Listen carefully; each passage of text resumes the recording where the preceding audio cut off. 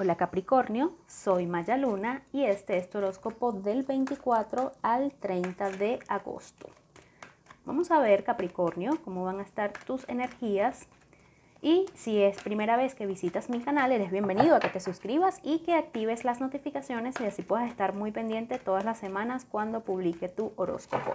Comenzamos Capricornio con una lectura general y luego vamos a ir ahondando en diferentes aspectos de tu vida.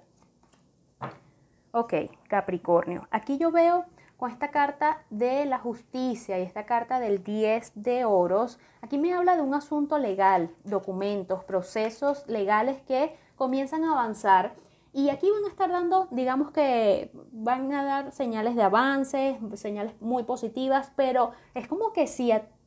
ti no te terminaran de convencer estos procesos, como si eh, algo avanza, pero implica también que tengas que ceder en algunos aspectos, quizá algunas fechas, si se trata de un convenio, como que eh, sientes que económicamente no está saliendo muy favorecido, hay términos y condiciones que consideras que no son del todo eh, favorables para ti. Sin embargo, a veces yo no diría que perdiendo, pero cediendo también se gana, porque sí, ciertamente aquí hay algunos aspectos y condiciones que vas a tener que aceptar para que las cosas puedan avanzar oportunamente, pero esto al, a mediano plazo, al final del día, esto te va a estar beneficiando. Capricornio, quizá ahorita no lo vas a ver, pero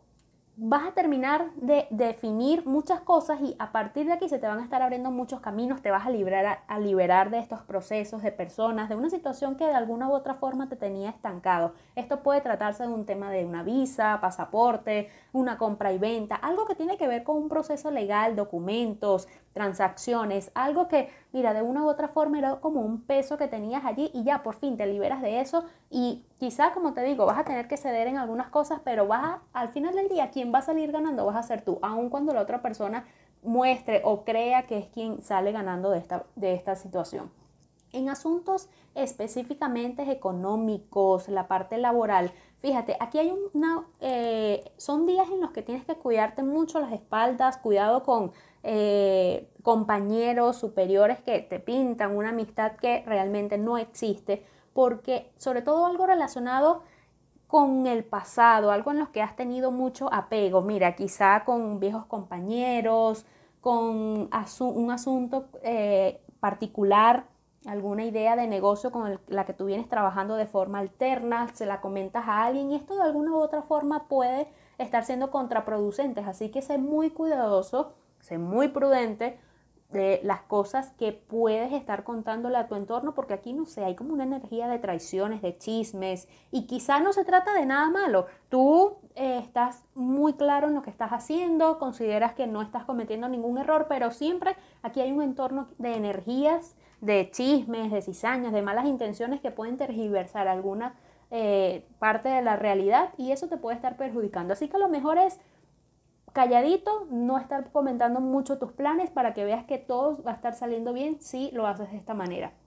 En asuntos del corazón, en asuntos emocionales, fíjate, aquí hay como una ilusión, te estás haciendo como que muchas expectativas con algo y yo veo que, fíjate, aquí hay cosas que se caen, pero como no tienes que estar ni triste, ni decepcionado, ni nada por el estilo, porque es como que sí, algo se cae, pero a su vez da lugar o da espacio a que llegue algo mucho mejor a tu vida. Esto se puede tratar quizás de un plan que ustedes tenían, que tú tenías con tu persona de interés, ya sea soltero o pareja, o estabas allí como que enganchado en una relación que definitivamente eso no va para el baile, o un, un plan algo, una idea, una ilusión que tú tenías que no se materializa, pero te vas a sorprender cuando veas que en lugar de eso van a estar llegando personas, situaciones, invitaciones, nuevas propuestas que realmente te van a estar llenando muy, de mucha felicidad y te van a estar aportando sobre todo mucha estabilidad. Aquí yo veo como un encuentro, hay como un romance, algo.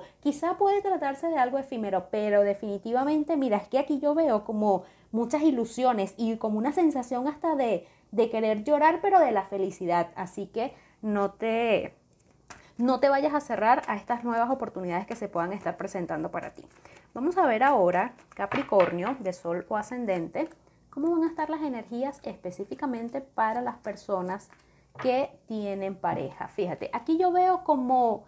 muchas pruebas que les van a estar, eh, que la vida les va a estar colocando a ustedes como pareja o a ti, Capricornio, de forma particular. Aquí te pide que tengas mucha prudencia, sobre todo con el eh, patrimonio de ustedes, con inversiones, con personas que dejas entrar en tu casa. Recuerda eh, también a quienes le confías secretos, planes que tienes, ahorros. Recuerda lo que te dije, de que no es momento de estar confiando demasiado en compañeros, sobre todo acá lo veo porque de una u otra forma eh, está ligado el tema económico con el tema de las parejas. Así que cuidado con poner en riesgo tu capital, tus inversiones, estar invirtiendo en cosas que parecen bonitas, pero al final del día son medio engañosas. Así que enciende allí esa, esa,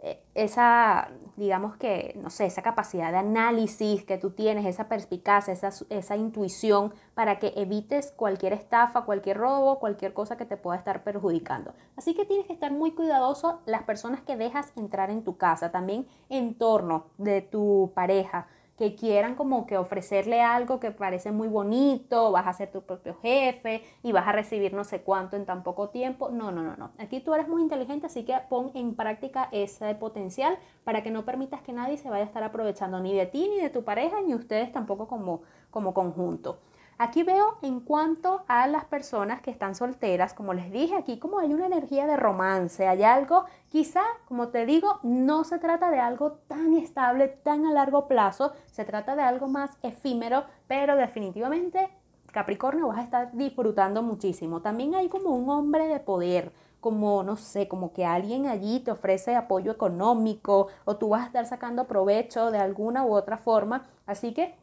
bueno, también tienes que medir el impacto de tus decisiones de no hacerle daño a la persona si estás buscándolo por las razones no, digamos que no adecuadas. Pero definitivamente esta persona también tiene como que mucha disposición. Tampoco vas a tener que obligarlo o, obligarla mucho. Pero lo veo con mucha fuerza que se trata de un hombre. Un hombre económicamente muy estable que te puede estar brindando eh, ayuda o, o quizás no desde la parte emocional, quizás simplemente te está abriendo los caminos, pero no se da ninguna relación íntima entre ustedes. Capricornio, espero que te haya gustado esta lectura. Si aún no lo has hecho, eres bienvenido, como te dije al principio, que te suscribas a mi canal y que actives las notificaciones para que estés muy atento todas las semanas cuando publique tu horóscopo. Feliz semana, Capricornio.